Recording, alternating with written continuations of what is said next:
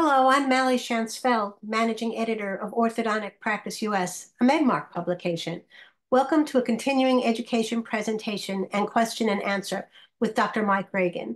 In our webinar today, we'll be discussing processes to enhance the quality of patient care and optimize clinical efficiency.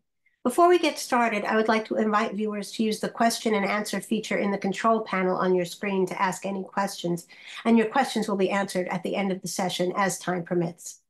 Now I'm pleased to introduce our guest for today. Dr. Mike Ragan operates a private practice in Dallas, Texas.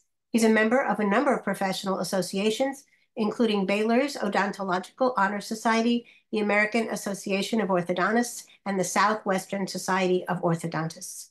In 1997, Dr. Ragan graduated with honors from the Baylor College of Dentistry in Waco, Texas. He received his postgraduate training in orthodontics from Nova Southeastern University in Fort Lauderdale, Florida, where he served as chief resident. Dr. Ragan is a guest lecturer and past alumni president at Nova. Dr. Ragan, we turn the webinar over to you to learn more about our topic for today. Thank you, Melanie. Appreciate that.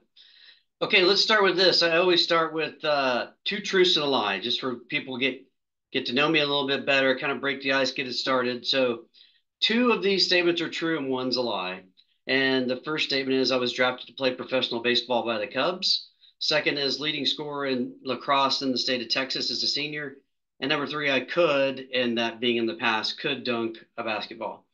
So, what do you think are the false things? Well, if you picked baseball, then you are incorrect because I was actually drafted by the Cubs to play professional baseball at high school.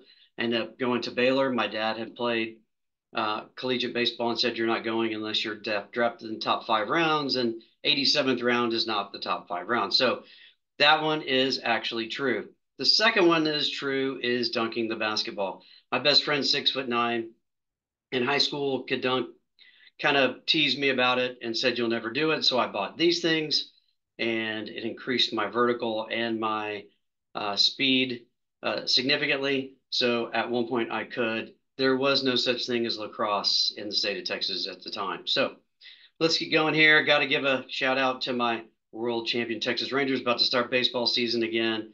Uh, so looking forward to it. All right, so uh, as you heard from Mali, some of the things I'm a, a, part of Southwest, I'm past president, AO. I've been on COC, and I'm currently a delegate again uh, for the Southwest Society. And then I serve a couple other roles. Um, one as the head of orthodontics for MCNA Dental, and then the other, of course, as husband and father. And that's my most important. So this is my family when they were young. And here we are now. We love traveling. So this is in Prague. That's Prague in the background. And then we love to go to New York, especially during the holidays. So I graduated from Baylor University in Waco, um, and that's where I played baseball as well. And I was lucky enough to have my daughter follow me there. She's a senior studying speech pathology and will be going to graduate school next year. And this is where the lacrosse thing comes from. This is my youngest. This is Caroline playing lacrosse and field hockey and she actually currently plays at Gettysburg College in Pennsylvania studying psychology, but she plays both field hockey and lacrosse. And we're, of course, the proud Texans up in Pennsylvania, so she had to take that photo. And then I went uh, after there, went to Baylor College of Dentistry, graduated there, went to Nova Southeastern in Fort Lauderdale, Florida, and have been in private practice ever since. So you're going to see this in my presentation. This is Dr. Luis Carriere, if you guys have never met him uh, super influential in the way that I correct bites. And one of the things that saved me a lot of time using DM is the motion appliance. So quick thank yous to Dr. Scott Reynolds, my good buddy from Ortho School, who got me into this. Uh, he's been doing it for a long time. Jason and Miko Jennings, that's my DM coordinator and my DM rep, uh, which are, yes, they're married. They've helped me so much. My staff are going all in with me. Holly Wilson, my DM trainer, helped me so much in, in integrating. And uh, the DM Summit, which is where I really got started with this. Uh, thanks to Celine for for bringing on board to go to this. It was great. The next summit, I believe, happens next year. Would be a great thing to go to. So, what was the role of DM in my practice? So, I was going through the staffing issue when I started this, and still kind of am, as many of you are throughout the U.S. And so, I thought I needed more staff to run DM, and I was completely wrong. And so, um, it actually turns out I needed one less staff member than I thought I intended to need. The dynamic scheduling has changed the way we schedule things. I'm going to hit on these a little bit as we go through the presentation as we uh, as it goes along here, um, and it, it, actually changed the way that we were scheduling from scheduling from norms and research to true biologic scheduling. The stress of my life has decreased significantly. As I said, I love to travel, and with traveling so much, um, this is easy to take on travel with us to um, to uh, get this uh, uh, to be able to use this tool while I'm traveling and still see patients. And then the tech office, we're really high tech in our office. We're trying to integrate all technology as much as possible. So, what are the benefits of treating your patients with DM? Um, and, and, and that's the way we do it with goals. And we do it for every type of patients from RPE to motion, braces, aligners, everything. So, it's helped us in so many ways. Decrease the staff need, which we talked about.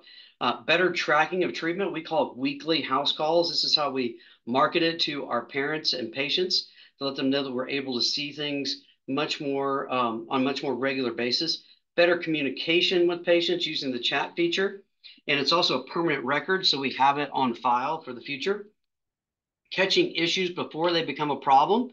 Um, patient discomfort, hygiene, emergencies, all of those. And then the dynamic scheduling, which has definitely decreased the number of visits, um, it's such a visit. It makes each visit so much more powerful and purposeful.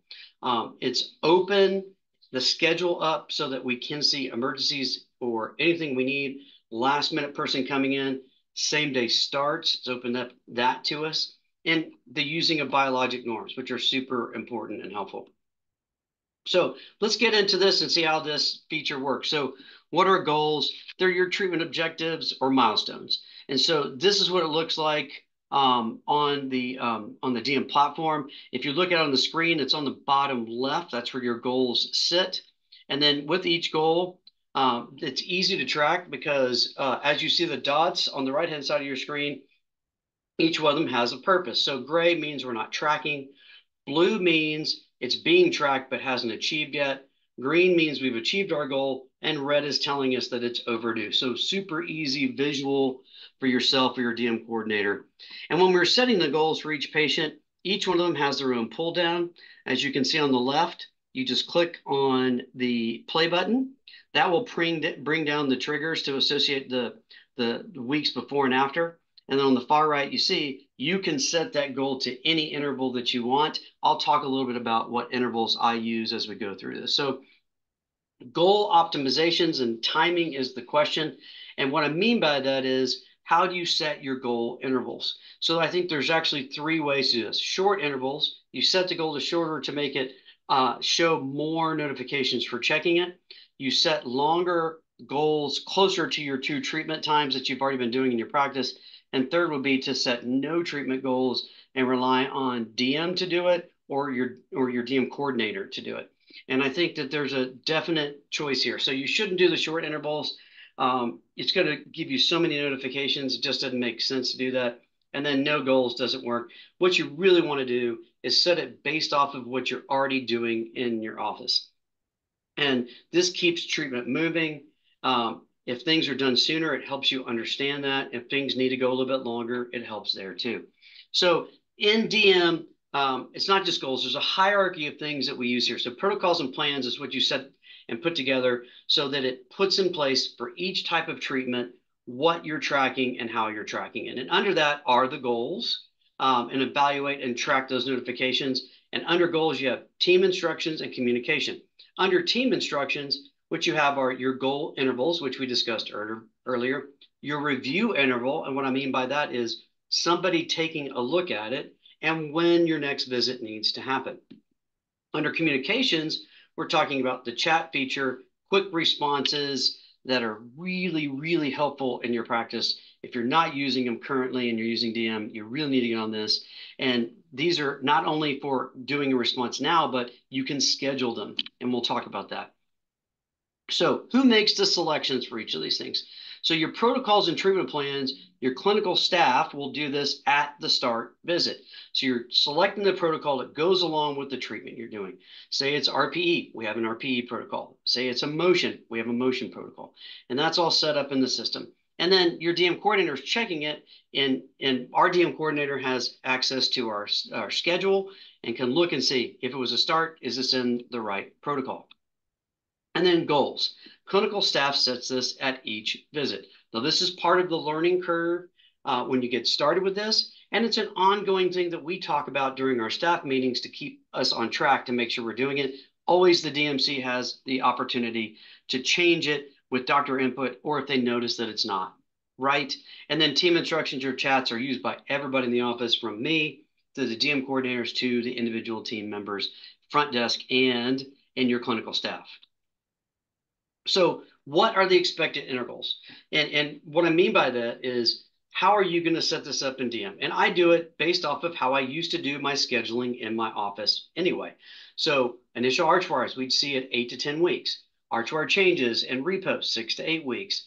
And so you add these different things that you already do in your practice, and you're not going to make a big change to them. You're going to keep on that same interval. So I suggest for you to do the same thing. Whatever intervals you are normally scheduling for, we'll use those to set our goal intervals and that way you keep your staff, it's easier to transition, you keep them on track, you keep things going down the road the way that it should. So in the selections, what you need to think about is select the fewer number of goals that can accurately, accurately predict the movement. And do not select goals with little chance of being met. And the problem is, as the if they're irrelevant, you, you you're selecting more than you need and it makes it harder for your staff to keep up with especially their dmc so select the specific goals and i'm going to talk about that as we go through through some clinical cases that are really kind of highlight how we do it in our office. So tracking these through notifications and what are notifications? And you see them on multiple places on this on this screen. So use the pointer up here on the top left and you can see Right above your goals, there's a notification section, and it shows you what to review. And this is where my DMC takes this, uses this, and this is how she at, she sends information to me to let me to let me know uh, that there's something to review. Um, you can see down below in the goals, there's slight there's notifications under, as you see here, this hasn't been met, and it tells you how much it's overdue.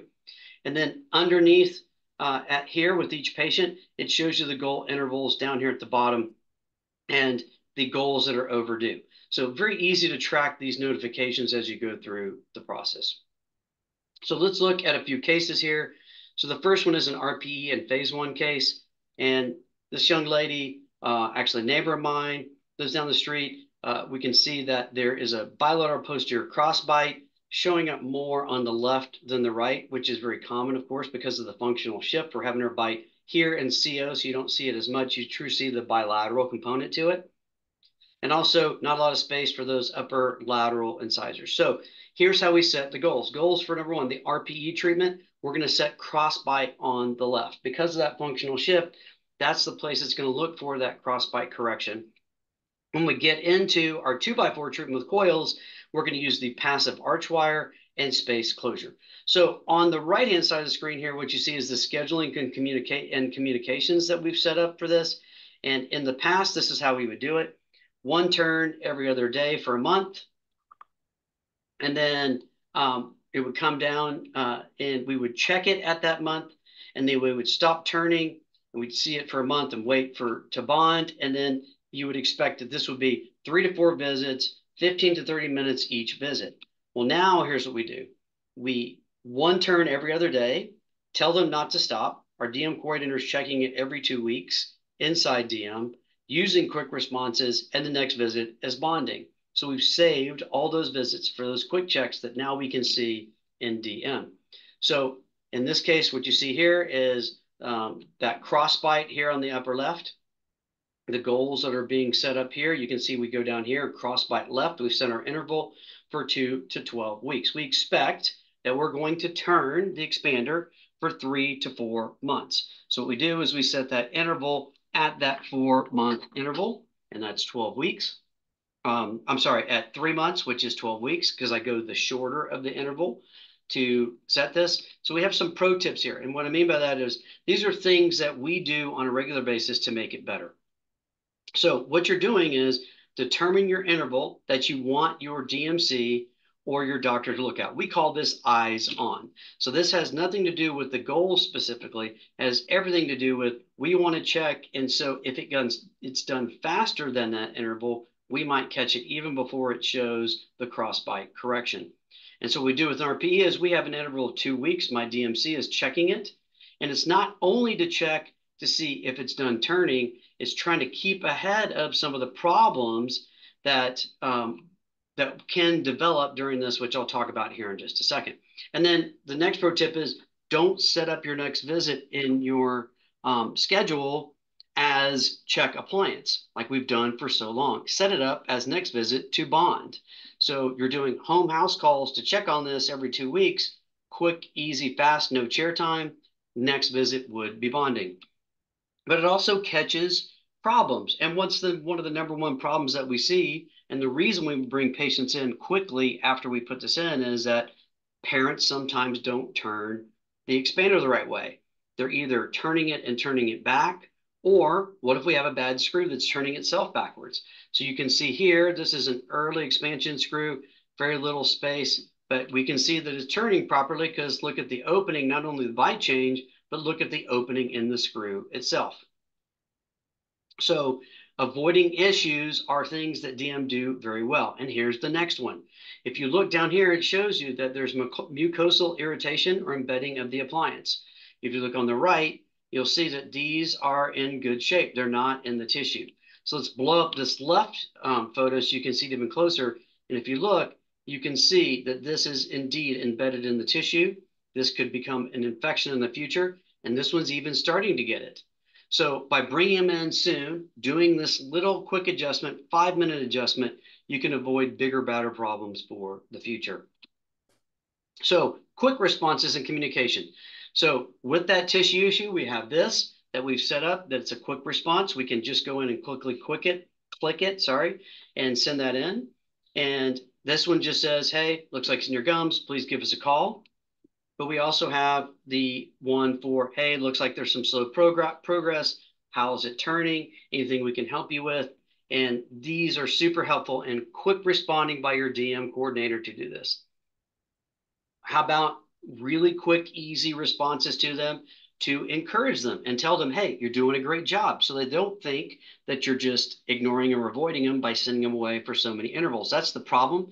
Many people worry about putting people on dynamic scheduling because they're going to think the patient thinks we forgot them. Well, these are quick and easy to use to send to the patient to say, hey, you're doing a great job. Keep up the good work. Once we get to the arch wire stage, um, then we switch to passive arch wires, as I had said in that first slide. So this, we've set it up. Um, no, we haven't hit it yet because we set our interval at that interval. It's a longer interval. But you can see in this case, we're slowly developing the space. And as we are, the eruption of this tooth is happening, but over here, the eruption is not. So this is something we're going to use to keep and track this. We can see that it's actually a passive arch wire with six weeks left. So we're ahead of schedule, and that's great. But now we still are not going to bring him back in until we can see some signs of that erupting tooth. And so on the left here, you see the tooth isn't in. On the right, we can see it's in, but it's still not quite time to bring him in. If I brought him in here, we couldn't do anything anyway. So why not wait, not have multiple visits to do it, have the one visit to make it go in the future.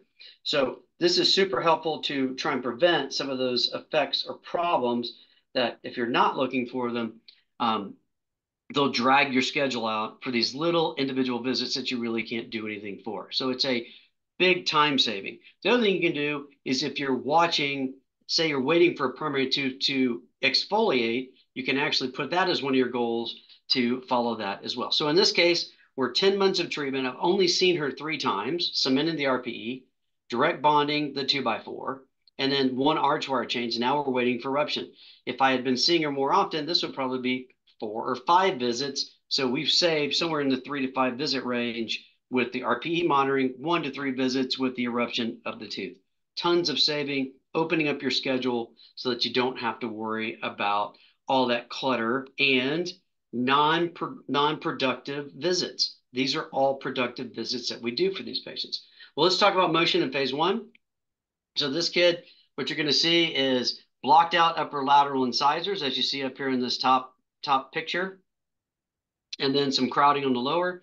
He's class two on each side, so we're going to do motion on both sides, and um, you can set canine on the left, canine on the right to class one. And if you want to, you can set the molars. When we get into two by four, we will set the passive archwire goals, goals to close the space.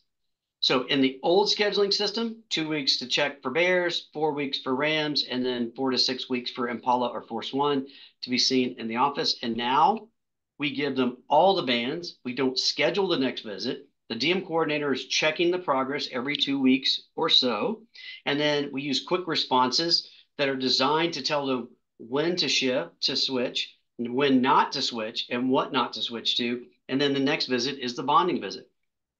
So you can see here, what we're doing is the canine, uh, canine class one, we're setting that trigger and that um, we said we normally see three to four months before the motion has finished itself. So we set it at the three month interval, setting it right in on track. So asymmetric motion cases is a pro tip for motion. We always put it on both sides because how many times have you seen that class two case that you only put it on one side, the class two side is correcting and the other side drops class two. So we're trying to keep ahead of that. And then we talked about tracking the canine and the molar, especially in your phase ones. It's much more efficient to just track the canines. Molar is sometimes hard to see. Those smaller mouths, and you know, depending on the tube size you can get in there, sometimes you can't get a great lateral shot of the molar itself. So, so just sticking with the canines for now. And so you see we have this goal set at 12 weeks right here. And we're watching it fixed. Now, you can see this side is overcorrecting and looking good. So we send out the first message, and that first message is, hey, um, the rubber band order is bears to rams, and finally Impala. Please wear bears for two weeks. Don't change to the rams. That's an important statement. Please do not change to the Impalas until you're told. A lot of people will change ahead of their time. Some people won't change on a good interval. So this is our first message, and this is all automated or quick responses. And, and so what we've done is we've automated them at the two-week visit and the four-week visit because we're going to tell them to go ahead and switch at two weeks. And the reason we do the two-week visit is we call it training wheels. And what I mean by that is light force, keeping them going so they don't stop uh, because of discomfort. And then we get to our, our, correction stage. So we've gone through, they've been in RAMs now. We've been following it every two weeks. And we can see the left side is corrected and the right side is not quite yet. So we ask them the question, and this is a quick response. Hey, how's it going? Score yourself on a scale of one to 10. And then if they're doing well and we see that it's time to switch, okay, great. We just send this message. The third message says, hey, it's time to switch to Impalas for approximately four to six weeks. Please keep scanning, and this will avoid delays. So we can see this is that overcorrected side I showed earlier, but this side is still just end on. So we have another quick response that we've developed, and that is to let them know that they can switch the bands. And, and what we're going to do is wear the right side full time and the left side just at night. And so this is an easy response to them. They do it. You can see that now we're corrected into a class one relationship on that side. So see the space that's developed now here in the front, and you can see it started here, go over here, and you can see the spacing that we've developed anteriorly. And so now we're ready to move on to the bracket stage. So at this stage, we actually put the brackets on. In this case, we're using Wild Smiles. Those are the uh, home plate or Superman logo Wild Smiles braces. We've got this um, uh, coil to develop the space. You can already see the two coming in slightly here and then even more so here as we progress. One of the good things that it's doing here is you can see it's tracking the passive arch wire. So we know that. It's also noticing plaque and food debris, pointing that out. You can see that up here. And then as we see here, it says the goal is achieved. And as we note that, I'm also looking at this, which is telling us what the bite relationship is. So in the molar, it's still a little bit class two, but we're developing our space over here. On the left, we know we were overcorrected class one to class three. So seven months total in treatment at this point, three total visits so far, two to get the motion started, one to bond the braces. Next visit, we're waiting for eruption, so we're not going to see them until that is ready to go. So it's saved us all of these visits. So by doing this with this dynamic scheduling, I like to call it softening the schedule. What I mean by that is you're still going to have to see your normal patients at normal intervals, but it softens it by not seeing all of these quick checks for RPEs, motion checks that we don't need to see that we can see in person in so much better detail in um, in DM. And so you have to taken the burden off of yourself and your staff. So what about motion and full braces? In this case, we're going to see that they had had phase one before. You can see a little um, uh, bonded wire, and so they moved to tandem to us.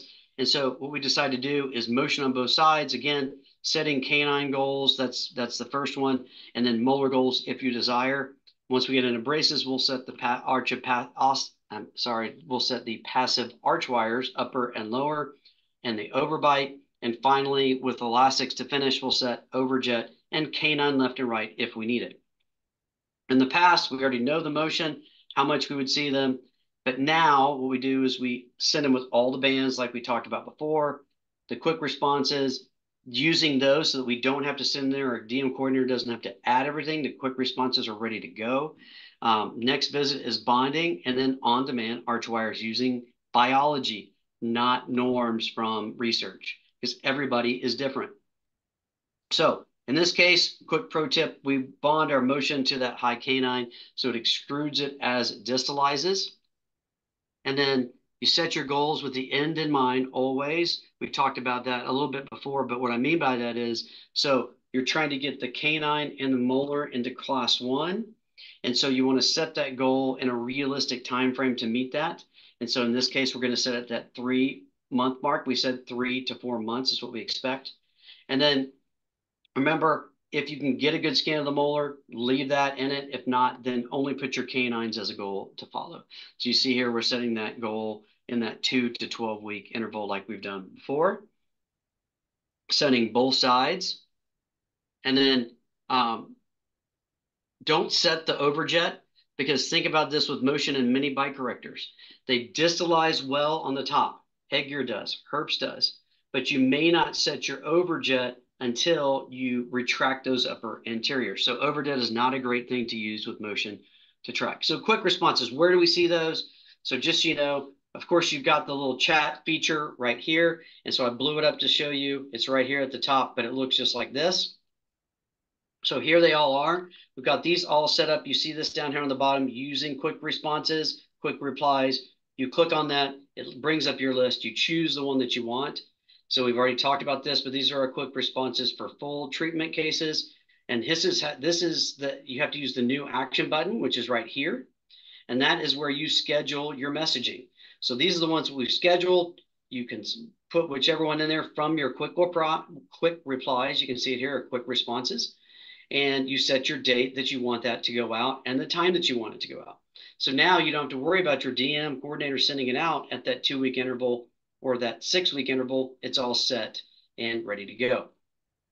So visual cues, of course, we can see it visually in the photos, but you can also see it in the um, descriptions here you see the um, molar relationship right and left. So in this case, you can see it's class two. If you go over here now, it's starting to show that the left side is class one, which you can see above, and the right side is still showing class two.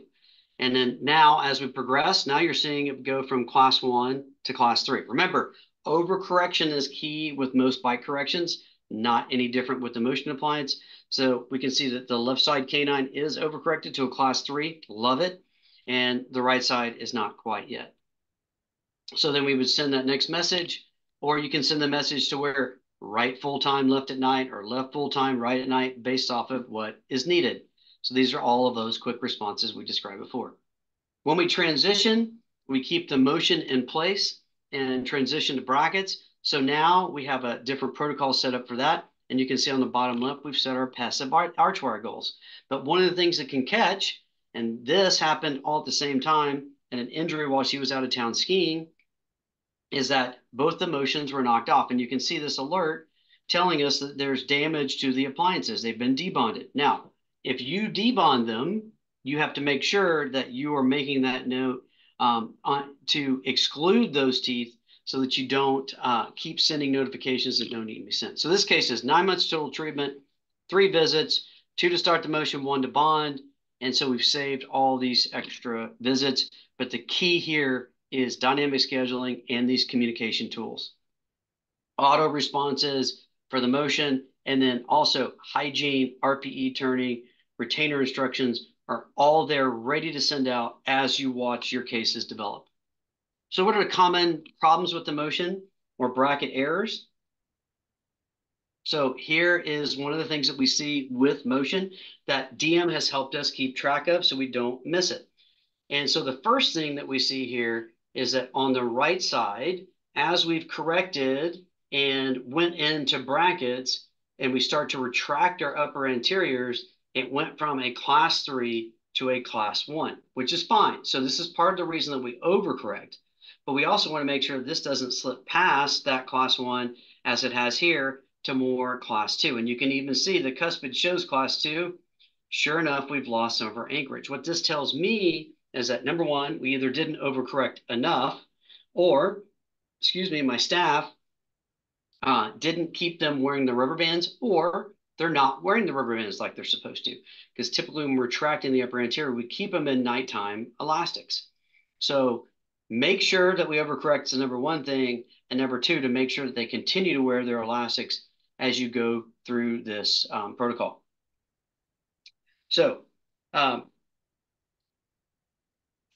so the next case we're going to show you are motion and aligners because a lot of people are talking about aligner cases with DM being super helpful. I agree 100%, but using motion ahead of aligners and some, sometimes in this case, we're going to use motion and simultaneous aligner movement to maximize our movement. So here we are at this young lady.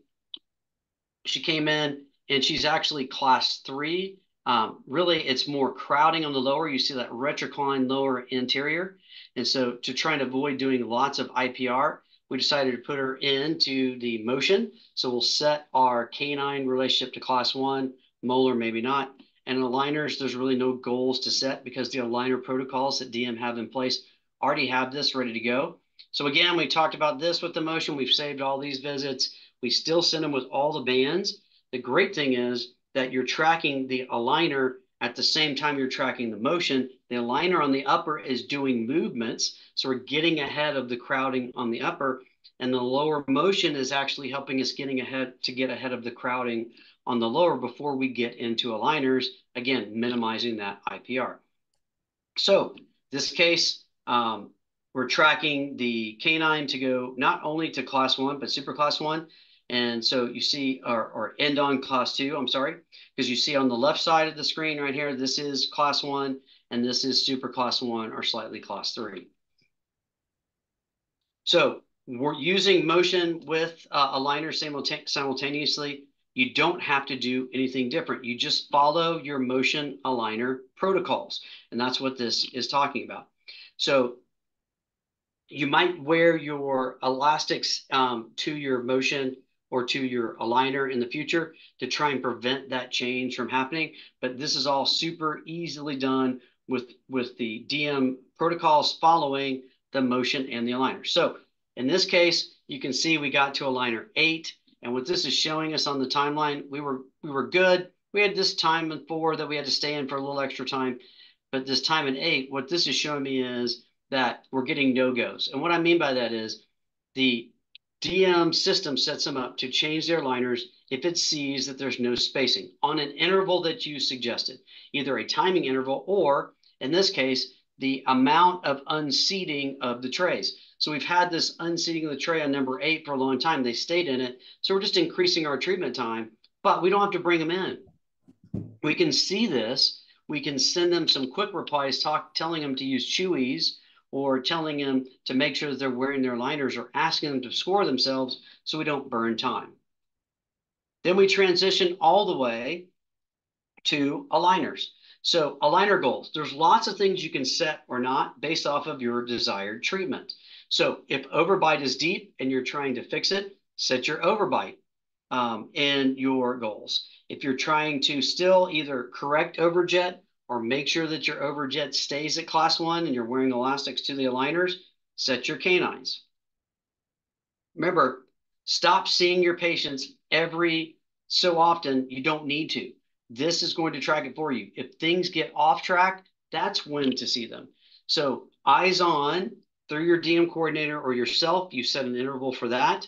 In my case, my interval to see it is every four weeks. I just want to check it and track it. If it's getting off track, my DM coordinator will send it to me. So I don't have to see them in the office until I know something is going wrong or we need to do a refinement. Some things coming up in the future with dental monitoring with some using 3D monitoring and STLs are going to help this even more so in the future. So watch for that to come. So, so far we're 18 months into treatment. Now this is a teenager in high school. We know how that goes sometimes with wearing aligners. So we have gone 18 months. If you think about these cases that haven't been as cooperative with aligners in the past, you've spent a ton of time waiting for this to happen. So it's gone 18 months, but I've only seen her four total times. And so I did the two for the initial visit to get the motion started, one for refinement, and one visit to deliver the refinement, uh, to deliver those liners. And then one more visit here that I did because we started a second refinement.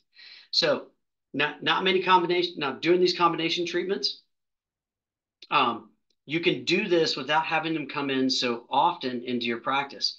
That's softening that schedule again. It's actually two in these cases that aren't being so cooperative. Why keep seeing them in? You can do most of your motivation over either the chat feature or your quick responses. And if need be, have a phone call. Don't bring them in. Don't burn that chair time. So braces cases, um, goals and, are, and the advantages of using. So your goals are set up. So your dynamic scheduling and your ability to use biology and not treat to norms. And what I mean by that, and, and I've seen this in my cases, I'm seeing about a third of my cases finish faster than I expected with their arch wire movements. That's huge to your practice because now you're going to finish patients faster, but you're still being you're still doing it in the same number of visits. You're just getting them done in and out quicker. And we're in that immediate gratification society right now. That's super helpful to growing your practice. Catching issues before they slow down treatment and helping to decrease the number of emergency visits at night and weekends. So when DM, is the AI catches it or your DM coordinator catches it, you're not having to see them or getting calls after hours with a loose bracket or wire poking. Many of these are caught early. Uh, built-in uh, patient and social media marketing opportunities or parents, especially with the before and after video, which I'm going to show you here in just a second. And then goals in general, what are they doing for you in your cases? So in your leveling, aligning, uh, and rotating early passive arch wires, goals are going to help you not to have to see them if it's not ready to change. Because many times they come in with that light wire, you still have a rotation, the tooth is moving, it's setting that. So what you're going to do is set it at your same normal pattern, but use goals to make sure that is it really falling into those normal patterns? Are they that one third finishing faster? Are they that one third that needs to go longer? Or do they fall right in the middle and you can see them at that normal interval? And then finishing wires, how many times have you seen a patient that you're ready to deband, you're supposed to deband, you bring them in for deband, and all of a sudden they have a midline diastema, a space that you didn't notice, a tooth of the bracket popped off and rotated. So we're seeing them now with eyes on weekly or biweekly during that we call check for deband stage and making sure that we don't lose that visit that we're supposed to deband. So this has been super helpful in keeping us on track preventing that crying patient at deband. And it's also helping us now with our impacted teeth, as you see it talks about down here, to make sure that we're bringing them in as soon as that arch wire is passive. We would go for long intervals and bring them in at two weeks or four weeks. We'd come in and that wire's still active. Or we go longer interval and that wire's been passive for a long time. So now using this goal for these cases is going to keep us on track. So again, as I talked about, about a third, it's a perfect bell curve, third faster, third longer, third in the middle. And I think that you'll probably find this as you use this more and more in your practice as well.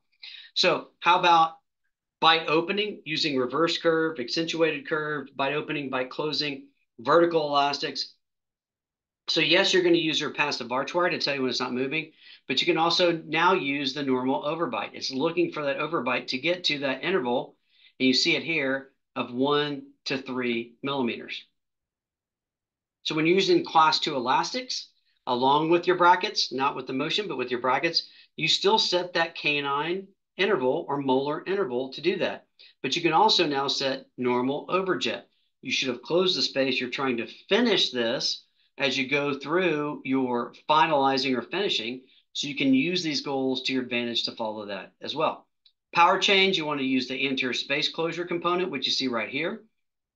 And then extractions or anterior retracting mechanics, you're going to use closure of extraction spaces that you see here.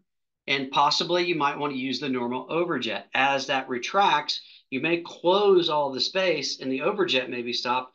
You may need to bring them in and change your mechanics to bring the posterior more forward versus the, moving the anterior back. So this helps you keep on track with those cases as well. How about midlines or asymmetries? You know, class two on one side, class three on the other side. So you can set that midline um, and the transverse to help you track these types of cases. And then crossbite ease or expansion, uh, say you've taken them out of the expander, you get into the light arch wire, they disappear on you, and it goes into crossbite again. Well, this prevents that because we're going to be seeing it on normal interval. And if it does start to happen, when you get back into crossbite elastics, you can track that protocol um, through just normal arch wires. And then you can set your goals to track crossbite as well. So how can DM help you to avoid these emergency visits or prevent things from slowing down or prevent you from debonding on the day that you're supposed to? And so this is things that AI catches. If you can look at this, it says down here, bracket damage, upper right one, upper right and upper left one. If you look at this, we caught the first one because we put an O-ring on it, but we didn't catch it here. And if you notice, the door's off.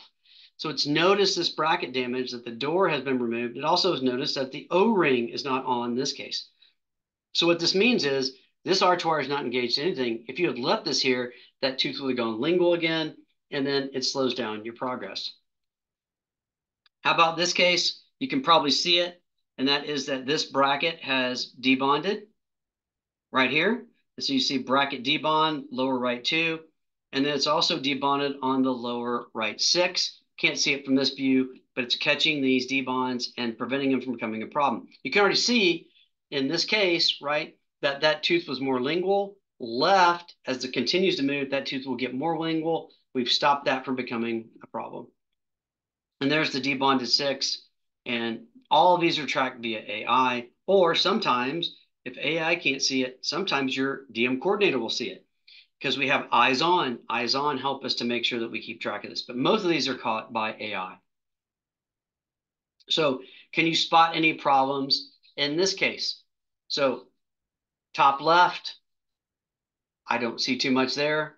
I do see something on the bottom left in this picture. And there's also something here. So what did it catch? So how about the arch wire disengagement on this lower left five? You can see the wire is actually under, it's not in the wire. You can see the open clip on the lower right four. If you look here, you see the wire is outside of the bracket, so that tooth is not going to rotate. Did anybody catch in the top right that in most cases we put bite composite on both sides? I don't know about you guys, but that's what I do and notice that the left side is missing. And then the gingivitis or the inflamed gum tissue, it's caught that as well. Pro tip here though, is that if you've done this on purpose, this bottom left image, if you've dropped this wire for the extrusion of that tooth or eruption of that tooth, make sure you exclude it so that it doesn't keep sending you warnings or notifications. So that's an important thing to think about. How about spotting hygiene issues? If you can see in this case, you see all the plaque, even without the brackets in place on this bottom, we can see plaque and tartar here on this top left photo. You can see the tartar persisting here and the gum or gingival inflammations that are happening here on the top and the plaque that's here. And then on that bottom, if you can notice this too, what you'll see is an ulceration of the bottom left gum tissue. So that has no that was noticed by the AI, and this helps us keep track of this, make sure that we're staying ahead of it, and it's a CYA for you as well, because then you can send notifications saying, hey, we're noticing it. DM's going to send notifications to them.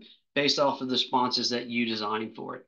So use this, use the chat tool for yourself or your, your DMC to stay ahead of this and make sure that you have the parents as guardians on these cases so the chat also goes to them so they see this and they get these notifications as well.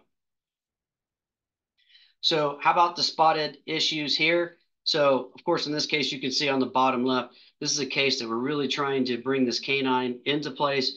You can see that there's there's plaque and, and problems here. This is what we're shooting to get to, but this is not where it went.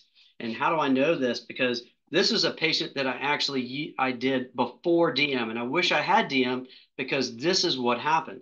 This is actually my daughter. And yes, I should be looking at my own daughter's teeth on a regular interval, but I wasn't. If I had been doing this, DM would have caught this in two ways. Number one, you can see that the arch wire broke in this case here and here because it had been turned so much, and my daughter didn't say anything. And as it had been moving the tooth, the tooth had been tipping. Our eyes on would have caught this and not become a problem. So in this case, we've actually then, this was the visit we brought her back in. We haven't changed the wire. Actually, I am going to circumferentially tie this. The power chain was broken here to get it back into place. Had I had DM for this, it would have caught this broken wire, saved me time and effort with my own daughter. And then the before and after video. So this is a great feature. You can see it pointed to on this top left. It's not only helpful to show patients that the progress that's happening, it's great for parents. I've had many parents take a video of this and post it to their own social media and say, look at the changes that my daughter has or son has in their teeth. This is a great social media marketing. It's super easy for the, for them to use. And I know in the future we're talking about changes to this to either automatically take it and put it into social media and then also from different angles. So this is super powerful in marketing your practice and showing the progress and pulling it up right in front of the parent to say, look, look at what's happening, see how things are going, and use this also a way to to praise your patients, to give them the way to go. You're right on track. Keep going with this. So so many different uses and ways to put take this to your advantage. So here is your action plan going forward with um, with DM and using goals. Set your goal intervals, follow your existing treatments. You don't have to make wholesale changes to your existing way that you schedule things. Just use dynamic scheduling to only schedule them when they're needed. And so remember, we talked about my intervals in the past. I would see them in the eight to 10 week interval. So we'd set our goal at that eight weeks. If they're done ahead of that eight weeks, we bring them in sooner, get their treatment done sooner. If they fall in the middle of that interval, great. We, we expect told them to expect that time frame. If it's going longer, we use our chat. We use our quick responses to say, hey, we're, it looks like the wire's still working hard. Um, let's keep this wire in a little bit longer, but you haven't brought them in and burnt a visit. So set your goal intervals based off of whatever you already do in your practice. And that way it's easier for your staff and yourself to integrate. Develop a good list of quick responses and start using automated messages. Now, this is something that we started doing anyway early on. We started using a couple of different communication tools to text with patients back and forth. We've been using Podium for a long time. We have Weave now. And in Podium, we had set up these quick responses. And now you have the quick responses set up so they go out directly to the patient and the parent, because in the past you could only send it to one person. It's going to both. So you keep them both on board and understanding where we're going with this. You keep your treatment on track. And the last thing it does is it is that permanent marker in in DM so that you can always go back and reference it to say, hey, we sent you this message. We're trying to make sure that you stay on track or make sure that something isn't going wrong. And so that way you keep treatment on track, you've softened your schedule, and it's a super easy, quick click, click for your staff member to go in and use these responses to keep the patient on track. Get your staff involved in, in developing and following the goals. And what I mean by this is when your staff is involved in setting things up, when your staff is involved in developing and helping you develop the protocols, everybody stays on board and on track. So when we do our staff meetings each time, we have our DMC, Miko, come in, and she notes the things that she's seeing. Hey, we're seeing this pattern, this pattern. By bringing them in and involving them, then they may say, well, this isn't working because, or we need to do this because. And when quick responses were able to be scheduled, that was my staff's my staff member's idea to say, hey, let's schedule the first two messages to go out to them. Using those messages, we don't have to physically communicate with them or have Miko do it. It automatically sends it out. We were doing that anyway. We were telling them, okay, two weeks we're going to switch. Go ahead and do it, trying to eliminate those visits. But now we can see it and know that it's going the right way. So bringing staff member and involving them in the messaging, the timing of the messaging, the auto messaging, they're going to be much more engaged in this process and in doing so much more communicative to the parent and now we're using those quick quick responses to also do some marketing. Hey we see things are going great. If you think it's going great hey we're going to send you a link to our weave um, app and you can give us a review. Would you mind doing that? You can use it for a multitude of things here.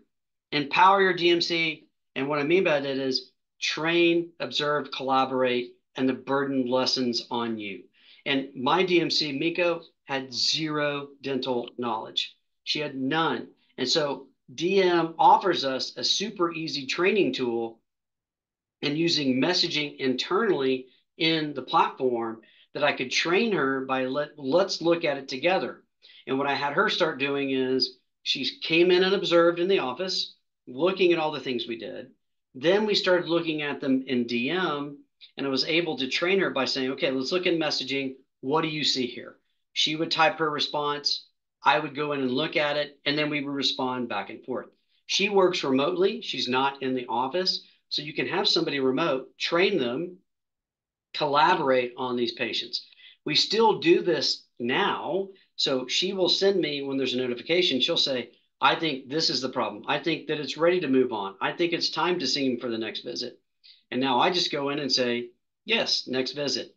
No, let's do this and let's learn from this. So let's have a call later in the day to discuss this type of case. So now it's not just a one-way street, it's a two-way street collaborating to come to become better at not only our weekly checks with the patient, but also our in-office communication because Miko now, when she sees something, she'll notice it and what's going on with the patient that we need the staff member to do this or this at the next visit.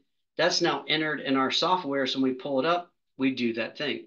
One of them being, hey, they're not wearing their bands, they're not doing their scans. Let's send that message to them, make sure that we bring a parent in, and I'll say, yes, bring the parent in. Now we know when we schedule the patient, the patient doesn't just come with the nanny, the patient comes with the parent. So we're heading off problems in the future as well.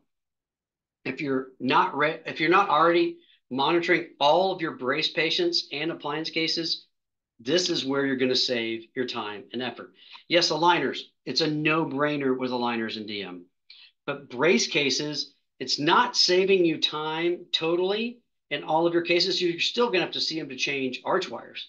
But what it's doing is during those visits, now we've noticed brackets loose. We've got a spacing. This tooth needs a compensating bend. This tooth needs to have a circumferential tie to rotate it because it's not working. This one needs to be disengaged and more coil spring done.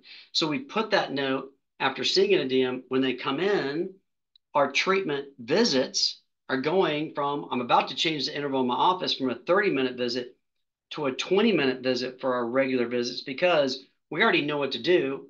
We're ahead of it, and therefore we're going to be more efficient in doing it, even though we haven't changed the number of visits we have to see them. You still got to change the arch wire, but now we're better and faster at each of those visits.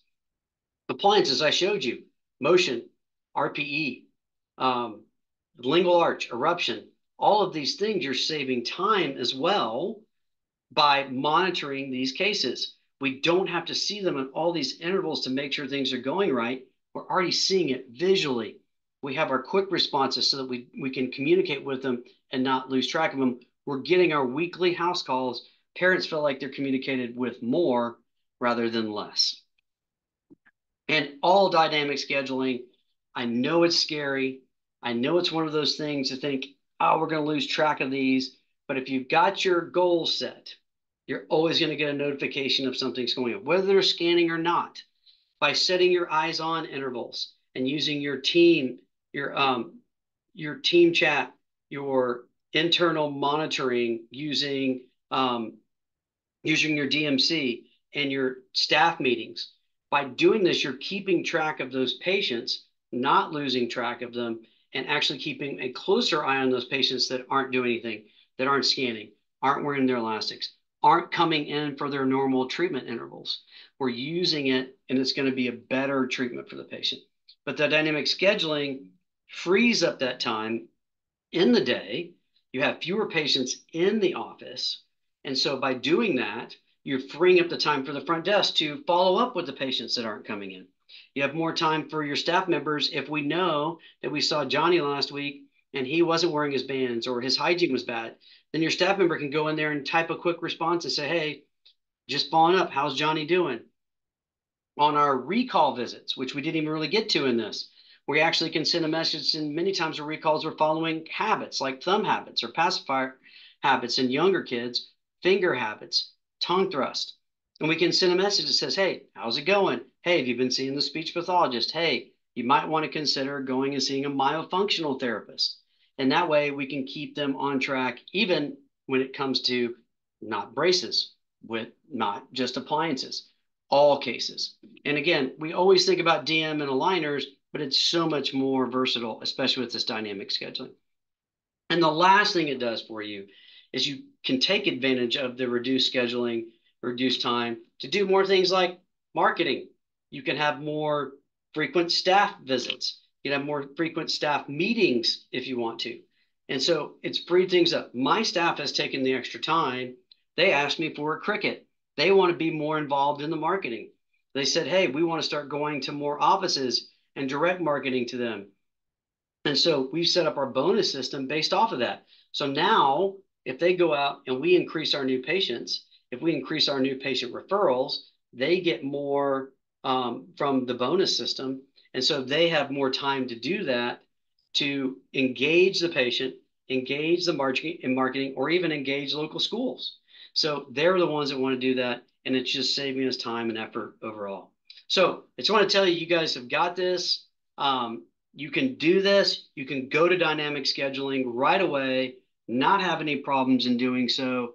You got to get your team all on board, and not all are going to be that way, but that's okay because you've you've probably done this already with some sort of appliance in your in your practice that no one wanted to use and now you're doing it.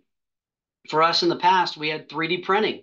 We went all in with 3D printing, got rid of all alginate in the office, got rid of all the trimming of models in the office. And my office manager was the person that said, no, we, we shouldn't do that. We don't need to do that.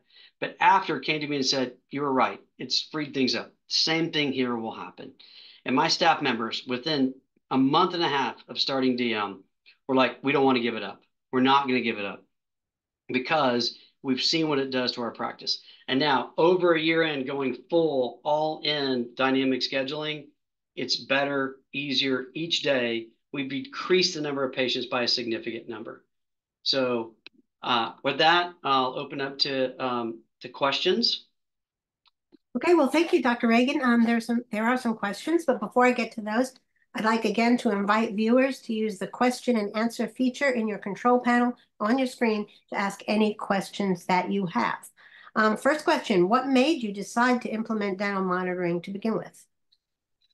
Well, I talked a little bit about it at the beginning, which was going all in at the after the um, the uh, dental monitoring uh, uh, symposium. But what really did it to me was my staffing issues that I was having. That was the number one thing that I noticed is that, and, and for the longest time, I thought I needed more staff and it was already trouble hiring staff. What it turns out is I didn't need to hire extra. I needed to just be better and more efficient with what I'm doing. And so what I found was after starting DM, we were before we were busy but not productive. And what I mean by that is we were seeing 60 patients a day and about 20 to 40% of them on a daily basis were those patients that didn't need to be seen that often. And now with DM, we're not seeing them that often. So that's just freed things up with less staff members. And again, when I did hire Miko to, my, to be my DM coordinator, I didn't have to look for somebody that already had the experience. I could take somebody like her and train her to do it. She's a great people person. She loves being on top of things, very organized. So you can take a person like that who has no dental training, make them a great communicator in your practice directly through DM. And so that was the trigger was the staffing and being more productive and not just busy. Okay, how did you pre present the concept of remote monitoring to your team? What was their reaction? Um, I'm an early adopter of a lot of things. And so I kind of expect a little bit of that wailing and gnashing of teeth uh, in, in the practice when you put anything new in. And so they were hesitant, very hesitant to go all in. And the front desk people were very hesitant not to schedule somebody when they walk out. How are we going to keep track of them? How are we going to make sure that none of the thing is getting that this isn't getting out of hand? And so what I went to them after listening to all these speakers at, at the summit was what if we could save 20 to 50% on a daily basis the number of patients that are seen in the office that don't need to be seen in the office? What if we could see 30 or 40 patients versus 60 to 65 patients? And as soon as I said that to them, they say, Yeah, that's great, but is it going to happen? And I told you, a month and a half in, we could see the change in the schedule because you're not seeing all these patients on a regular basis. You're seeing them with virtual house calls via DM on a weekly basis. So those patients that came in were much fewer. The ones that were coming in, we already had notes and made them better. So by doing that, the staff was all in very quickly. And that wailing and gnashing that happened when I talked about with the 3D printing, which took months and months for it to see it happen, happened super quick. But it's going all in. You have to do it from the very beginning. And in doing so, and not just with the liner cases, going all in with your brace cases, your appliance cases are going to get you there better and faster. And your staff will really understand and get on board so much quicker as well. Okay, um, our practices averages 100 patients per day, four days a week. My team is excited about reducing that to 50 to 60 patients with dental monitoring but we're worried that it will mean reduced hours and income. Do you have any, did you have any similar feedback from your team early on? Definitely. Yeah, they they were worried, especially when you talk about a bonus system, right? Because they tie they tie bonuses many times not to just the fact that we talk about new patient starts, new patient referrals. That's what we're really that's what we're really bonusing on. But they thought that by seeing patients less, that means fewer people in the office, and therefore they're not going to get their bonus and we're not going to be as productive or efficient. It's completely the opposite because um, what you're doing is you are freeing up that time. I talked to you about how my staff really wanted to get into the marketing side themselves so they could get the bonus. And by doing that, fewer patients means more time to do other things. Make sure we're ordering, keep our ordering so we don't get behind in ordering. We don't have someone coming in, we don't have something. They're, they're ready on these days that we don't have as many patients or we're lighter, hey, we can send a couple people out to go direct market to those individual offices or new offices that we're hoping to get them to send us new patients. So really, I know the fear is there that it's going to cause a problem, but what really ends up happening is your staff is happier, your staff is more engaged because they have more time. They don't feel like they're just constantly on the run, not getting stuff done. And so even with fewer fewer staff members, we got the same amount done seeing fewer patients. So it was a no-brainer. What was the biggest challenge for you personally during the implementation process? And what about the team?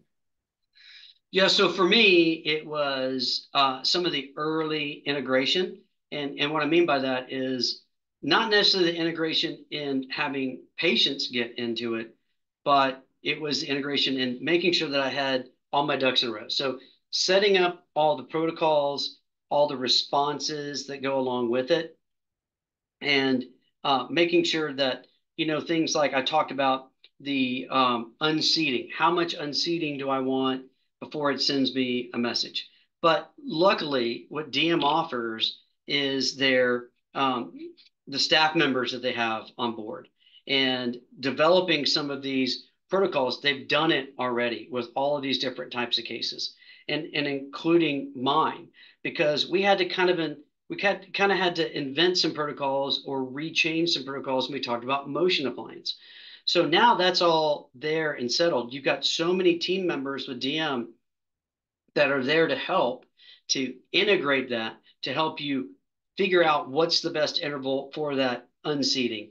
Um, what protocols should we set up when we get started with a brace case, with an aligner case, with a um, with an appliance case? So all that is set up now. So that's a that's a much lesser of a burden on the new integrating uh, staff member or sorry, new integrating office as you go along. Now, for the staff, they had two main fears, and that was number one, the fear of the schedule changing and dynamic scheduling and not seeing someone back. And number two, I thought it was going to be hard to train patients to scan, or it was going to take so much more time to train patients to scan. Because we had been an early adopter with the cheek retractors that were really hard to work with, but now with the current um, scanning protocols and the current scan box. It's so easy to do that it has not become a problem. The one thing we did add is a scanning station. And what I mean by that is we have a, a spot where we have a mirror, a table, and um, all of the little tubes and tube sizes right next to it so that we can go set their phone down, show them how to set it up, help them to scan. And so training somebody to scan, which was hard at the beginning, became so much easier because we've integrated all this. And and now the DM team has all of that. Some of the suggestions came from Holly, who I um, I said thanks to earlier. She told me, hey, you need a place to have everybody go and scan. Runnels taught said you need a table next to it. So now we've learned all that.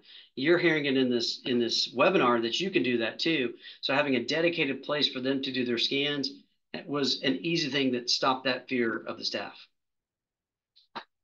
How did you optimize workflows with dental monitoring?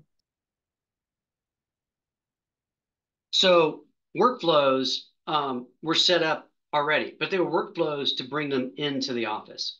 So what you're doing in optimizing them is actually just changing them from your workflow on, okay, we see them eight to 10 weeks for each, uh, for each uh, initial wire. You see them on a six to eight week basis for each of your appliances. What you've done now is you put them into the protocols. And so those protocols already have it set at that interval. So now it's all set up. So once you set the protocol, it's going. So it actually helps you keep track of those um, protocols. And you don't really need to optimize them after you've set it up from the beginning. Now, you may tweak them as you go along because you may say, oh, well, I was seeing people at 10 weeks, but a lot of people are finishing early. Let's change it to an eight week interval. Well, let's change it to a six week interval. So as we have gone through with our goals, it actually is changing and optimizing in a different way by saying, okay, we really don't need as much time for this. Many patients are doing faster with motion on these types of cases, phase ones, for example. We see our phase one patients, because they're so good at wearing their elastics, finish their bite correcting pike correction sooner than I expected. So we we might change that goal interval from that three months to two and a half or two months. And that way we just stay on track a little bit more efficiently with those phase ones. So it's it's helped us in we've optimized it, but we've optimized it through our goals. How did switching to dynamic scheduling impact your practice operations and your personal life too? So I kind of hit on this uh, earlier in the fact that it's it's dynamic scheduling is really not about the scheduling. I think that's that's that's what it actually does for you is you don't schedule until it's needed. But what it is really doing is we're not scheduling a person until their own biology says it's time to change. And so we're moving away from all the research norms that say, okay, it should be in this time frame or this time frame, right? It's actually taking each indiv- individual person and making them an individual. And so we, we use biology to get us to that right place. And so what it has done overall, the dynamic scheduling is said, okay, we've we've softened our our schedule. We've used the the um, biology of the patient to get to the right place. So we're truly taking each person, making them an individual, only see them as we need to, and when we do see them, the purposefulness of our visits, the timing of our visits, because every mom is ready to get in and out as quickly as possible, right? They've got to go take the next kid to something. They've got their own tennis match. They've got a next kid has a performance at school they got to get to. So we're actually becoming a much better, more efficient office, and dynamic scheduling is the key to that. I know it's scary. I know it's like, oh, how are we going to keep up with all this? But all of the things that DM has in place helps you to keep up with that. And then using your own ION intervals with your DM coordinator also does that. So dynamic scheduling has been a game changer for our office. How has how much time has dental monitoring saved your practice in terms of paperwork and in-office visits? Yeah, so uh, I, like I said earlier, I think it's 20 to 50% in the number of patients on a daily basis. So you can imagine how much time that that is spending is uh, helping you. Paperwork. Now we don't need to generate all those little slips of paper that we send out to the patients um, uh, with each visit, like we used to, like on um, our motion patients. We had that. Okay, you should be in this one, and then this one, and this one. So that's all in quick replies, and each person gets it in an interval, as opposed to giving them at the beginning that they may throw away or put it to the side. It's there, ready to go. And I kind of missed on this a little bit earlier, and that is how is it how is it lessened for me? Well, my stress has decreased because it, my daughter, the one I told you that's that's playing college lacrosse um, in in field hockey, we went to see her play once a month, and I took an extra day off once a month that I never did in the past. But I knew that when I left, that I could still see my patients. If they had a problem in the office, they could send me or say, "Hey, look at the DM scan for this patient." They came with a broken bracket. What do you think? I would quickly look. I can look at it not only on the computer but I can also look at on my phone. And you can use your phone to review cases and look at it and say, oh, yeah, I'm sitting here at the game. They've got an emergency. That should be fine. Go ahead and do this or this. So it's freed me up to feel like I can still be out of the office and be productive and still be out of the office, but my staff can communicate with me very easily saying, hey, take a look at the scan and free things up that way. I only use dental monitoring for new aligner and braces patients. If I move some of my existing patients into monitoring, will that create more disruption than it would solve? I, I struggle with that early on, trying to figure that out. And and yes, it's a no-brainer immediately to go all in with your patients that are starts. Easy. Braces, aligners, um, appliances, all of those. What we decided to do with our patients is the ones that were within their last six months of treatment. We did not convert them to DM. We offered it to them, but we didn't make it a big push to convert them. Anybody that was six months or more, we just told them we were going to go to convert them. And we told them the benefits as we're doing it. Hey, so we're starting this protocol with you. What it's going to do is this it's going to save you visits it's going to avoid emergency visits from becoming a problem on the weekend. Wouldn't you rather not have to miss a game or something on the weekend because we can fix it before it becomes a problem? And and so by doing those things, it actually put those patients at ease and they were ready to do it. If they were within their last six months and they wanted to do it, I told them, hey, it's going to help you this, this, and this. But we didn't push the point. We just offered it. They said, no, we're close enough to the end. We're not going to do it. Fine. So that was kind of our dividing factor. Six months less, we suggested it, but we didn't push them. Everybody beyond that, we said, we're going to do it because we know the benefits are going to save us in the long term. What benefits do the patients and parents report uh, using dental monitoring?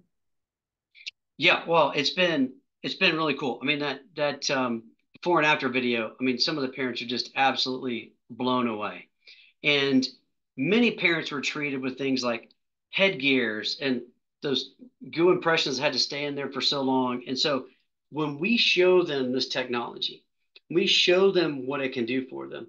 Most of the parents are like, oh my gosh, I am all in. Let's do it. Let's go for it. But what I was surprised with is even some of the parents are like, oh, I don't want to have to make them scan and oh, I don't have to make them do this. We start to des- describe the benefits to them. They start to scan and then they see it themselves. One of the biggest, I think, is hygiene. And that's the hardest to track from a distance, right? You don't see them from the moment that they're in the office to eight to 10 weeks. What if their hygiene is terrible? I've seen people develop decalcification or develop pitting on a place that was already decaled within an eight or 10 week interval for kids who are not so good brushers. So now we're tracking hygiene from the very moment that we start seeing them and avoid it from becoming a decalcification spot or or a permanent tooth scar. And now with my pediatric friends, there's actually some new technology out there that if you catch these white spots and white lesions that are in their early stages, you can place this material on there. And believe it or not, and I was blown away that this new material will lay down new enamel matrix and regrow some of the lost enamel. But you can't do that if it's too far along, if it's already cavitated, if it's already a problem. Excuse me. So we're actually now using this, the hygiene part. If we start to see the white lesions, we are going to send them to the pediatric dentist or their general dentist, ask them if they have this, and prevent those from becoming an even bigger problem. So the parents are starting to see that we are staying ahead and on track and a, ahead of the problems. And most parents that are doing it on their second or third child, they're like, I can't wait. This can be great because they know it's going to save them compared to what a first child who never did it was like. Our patients are responding very favorably to dental monitoring and less office visits, but we still struggle to convey the bigger picture value to our patients. Any advice for explaining it? So state that again. I'm sorry. Our patients are responding very favorably to dental monitoring and our less office visits, but we still struggle to convey to convey the bigger picture value to patients. Any advice on how to explain it? Yeah. So what, what you need to do is is you don't talk about it being as much about a weekly scan. You talk about it being weekly house calls, right? So by by doing that, it adds value. You're adding value to the fact that we're going to be monitoring you more frequently. And we talk about these three layers. Layer one is AI. So they already know about AI. They keep hearing about it, right? And so it's adding that value to something that actually affects their own kids. And if we say, hey, AI is going to be tracking stuff, but we also have Miko. She sits behind the scenes remotely looking at every case. And then you've got Dr. Ragan and staff. And so now they see that each of these things are helpful to them. And so it's got this complete added value component, not just on um, the finished product, but during the process. And so what we're doing is we're staying ahead, staying on time, being more efficient, and therefore being a better overall practitioner. I do believe that over over time, as AI gets better and we get better, we are going to be better practitioners. We're going to see things before they become a problem. We're going to head off things looking at it the same way that everybody else looks at it. What I mean by that is every photo taken in DM is the same way that you would see them if you're taking a photo of them if you're looking at them, talking to them in a conversation. And in doing so, I've even changed the way that I do my adjustments at the end, not only based off of what I see at the chair side, but what I see in DM. So we're going to be overall a better practice, a better um, provider of treatment, and in the long term, in the long term, faster and more efficient at doing it, and therefore more profitable. Um, what are the problems or trends um, that has dental monitoring's detection capability identified that may have been missed without the AI software? Well, I think I think the biggest is, and we talked about it already, is the hygiene. But but the other components are, I mean, even some of these pictures that you see in DM, when they tell me there's a loose or broken bracket, I still don't see it sometimes. And so what AI has done is found things by using those predictable patterns to track things, it's actually keeping ahead of the problems. I, I think that's one of its um, most valuable components. And that is by staying ahead of the problems, catching them before they become a bigger issue, it's better for everybody. It's better for the patient because we stay on time and on track. It prevents infection, like I showed you with that RPE. And so noticing those gingival inflammations, even before they become big and bad, is super helpful. Avoiding the hygiene issues, like I said, with these using the pediatric dentist and this new technology. And as technology continues to get better, we may find things that, okay, with the new motion appliance, the Motion Pro, it may be better with this or this, and we need to see them quicker. We, we have a drop-in hook with the new Motion Pro, and that that drop-in hook needs to be monitored more closely. So now we're able to use the AI to track and make sure is that hook still intact? Is the power chain still connected? So we're not losing what we are doing before. So AI is a super powerful tool, not only for tracking progress, but preventing things from becoming an issue and helping us stay on track. Any advice you could share that may be helpful for a new remote monitoring user and their team? Yes, go all in. I mean, that's the number one thing. And and it, it seems like it's a lot all at once. And and it is. But anything that's new and innovative is going to be that way. When you first switch to your newest iPhone, even though you know the main functionality, if you don't spend time doing it, you're not going to get to know it and use it. So by going all in from the very beginning, and all in, I mean every patient that you start, all the patients within a certain interval that you determine, and then all in with dynamic scheduling. You've got to do that from the very beginning. And in doing that, you are going to see the benefits faster. You're going to free up your time and your schedule so much faster. You're going to get your staff on board uh, much faster, much more efficiently. And also, you'll start to see that lessening that dropping of the shoulders on a daily basis. You don't come in every day worried that one little emergency is going to drag the rest of your, your time down because you're, you're free to handle those. You're free to stand and talk to a parent. I love the parent interaction on a daily day, day-to-day basis. I love hearing about the kids and what they do. Now I don't worry about standing there and talking a little extra time because I've got more time in my schedule to do it. So going all in from the very beginning with every patient, with dynamic scheduling, with doing it not just on aligners, with everything else is going to save you, free things up, and be a much more efficient, better practice. I truly, truly believe that. Okay, and our last question what advice would you give to doctors who may be on the fence about remote monitoring and who are hesitant to make the plunge in transforming their existing practices? So I think sometimes the we as orthodontists, dentists, anybody who owns their own practice, their own business, right?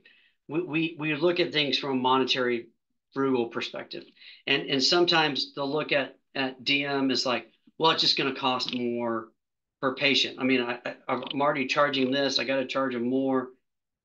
Uh, it's it's a complete wrong thinking. And what I mean by that is, I've already told you how many visits it's going to save you. Do you, do you know that there's been multiple studies, and almost every study shows that your cost per visit, your cost per chair visit, runs you just to sterilize a chair for a patient that stays for one minute, somewhere between 130 and $240 per patient per visit. So what if you eliminate three to eight visits in your practice? You're more profitable, you're more efficient, and and so why not do it? It's worth the value, and and so value to to um, the the monetary value to worth in your practice huge. Another thing is it will change your everyday. If you are not on something that's helping you to make you be more efficient. See patients on a less regular basis. You're doing it wrong. And DM is that that way of doing it. It's that platform. It provides all of those things for you. And yes, you're still going to have some of those patients who don't scan, who won't wear their elastics, who don't come to their visits. That's never going to change. But we're going to have the majority of your patients in. And so the ones who aren't doing that, you do have more time in that day to see them. So the value the worth, 100% you should do it. It, it should not be one of those, oh, I don't have enough staff. Oh, I think it's going to cost too much money. No, go and do it. Go all in. You won't. You will not regret doing it. It, it has changed everything. And again, I told you, my staff are the ones saying now we don't want to get rid of it. We don't want to stop doing it. And and and it really is a value add, not a not a um, drain on overhead. It's a value add in your practice. Well, thank you. Uh, thank you, Dr. Ragan, and thank you everyone for your questions, but we've run out of time today. And if we did not get to your question, we will answer it after the webinar via email. Be sure to take the free CE quiz associated with, with this webinar to receive credit. Shortly, we will email you the recording of this presentation and instructions on how to access the CE quiz. Thank you all again for attending, and a special thank you to Dr. Mike Ragan for a great presentation and our sponsor for this webinar, Dental Monitoring. Thanks.